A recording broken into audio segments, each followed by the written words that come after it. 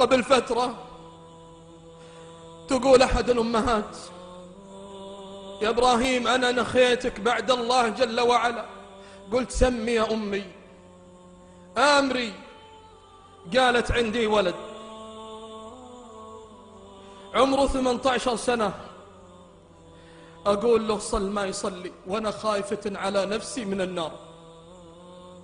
ما ودي يوقف قدام الله ويقول يا ربي عذب أمي لأنها شافتني أنام وما صحتني للصلاة. تقول أنا خايفة من الله. هل يعذبني الله جل وعلا؟ قلت يا أمي ابشري. أنت تبذلين الأسباب. والهادي هو الله قالت كيف؟ قلت قلب حبيبي صلى الله عليه وآله وسلم. تألم على من؟ على عمه أبو طالب وقف على رأسه. يا عم قل لا إله إلا الله كلمة أحاجج لك بها عند الله.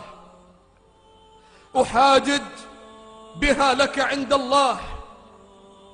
فحاول الحبيب ولا زال يحاول صلوات ربي وسلامه عليه. يا شباب لا تنسون الصلاة والسلام عليه.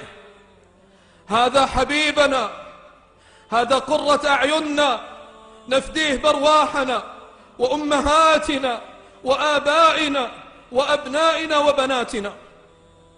طبت حيا وميتا يا رسول الله.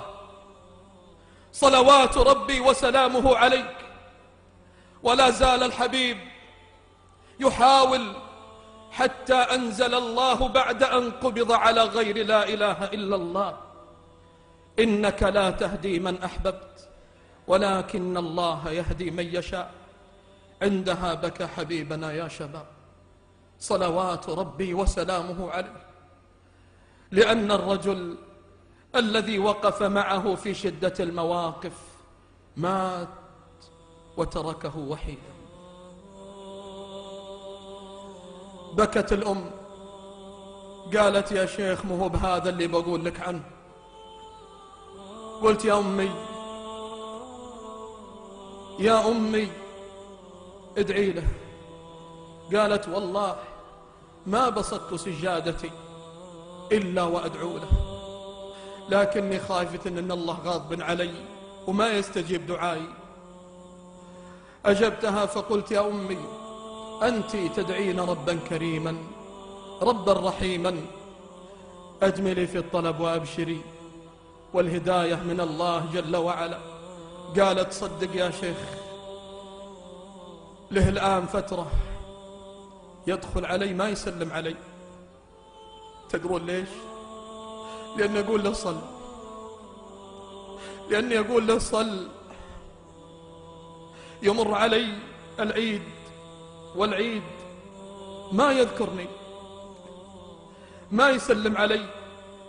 يا حبيبتي يا أمي كم آذيتك كم جرحتك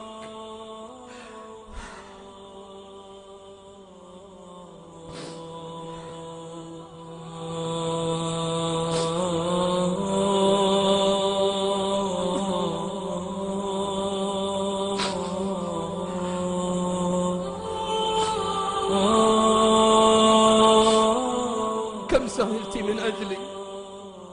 كم تحملت من أجلي. وها أنا ذا أوذيك. تقول يوميا أنتظره عند الباب. حتى إني أضمه لصدري تصور. يدخل ما يسلم علي. تقول والله ما ودي يدي عليه. ما ودي يؤذيه بدعائي أخاف أنه ما يتوفق. وأب يقول يا شيخ الله يلومني يوم أدعي على ولدي. قلت ليش يا أبوي؟ قال توفت أمه. كنت معاه في البيت. جاه الأولاد ورزقه الله ببنات تدري يا شيخ وش يسوي؟ وش يسوي يا أبوي؟ قال والله إذا مني دخلت البيت وسلمت على عياله قالت زوجته لا تسلمون عليه أخاف يعديكم أخاف يعديكم تركني. والله إني أنام بالحالي وأتغدى بالحالي وأتعشى بالحالي يطلع يتمشى. ما يمر يسأل عني. ليش يا شباب؟ هذا جزء الوالدين.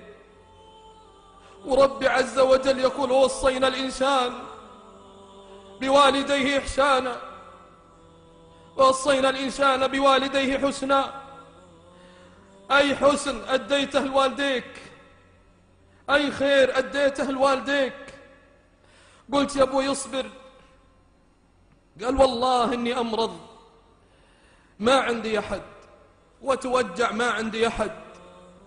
كيف تبيني مدعي عليه؟ قلت يا أبوي يدعي له بالهداية. بعد فترة اتصلت على جوال هذا الأب رد الابن.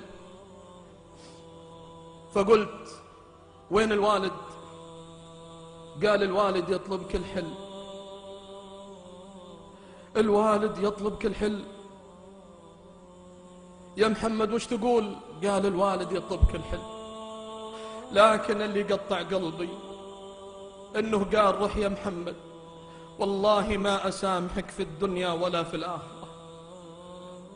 وأنا اليوم ضايقة بي الدنيا. يا شيخ بالتوبة يا شيخ بالتوبة. أي ألم؟ أي ألم؟ أي وجع؟ أي حرقة؟ يجدها الواحد منا في قلبه.